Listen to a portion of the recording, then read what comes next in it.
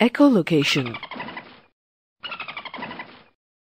Echolocation is a method of sensory perception by which certain animals orient themselves to their surroundings, detect obstacles, communicate with others, and find food. Bats use echolocation to navigate in the dark and find food. A bat emits a series of short, high-pitched sound waves from its mouth or nose. These sound waves travel away from the animal. Then they bounce off the objects in the animal's path, creating an echo. A bat can determine the size and shape of the obstacle in their path, the direction of motion of the prey, and also the direction of motion. This echolocation system is so accurate that bats can detect insects, the size of gnats, and objects as fine as a human hair.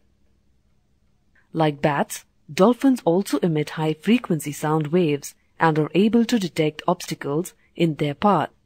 Thus, dolphins can avoid fishing nets and also detect fish at night or even in muddy water through which it is not possible to see.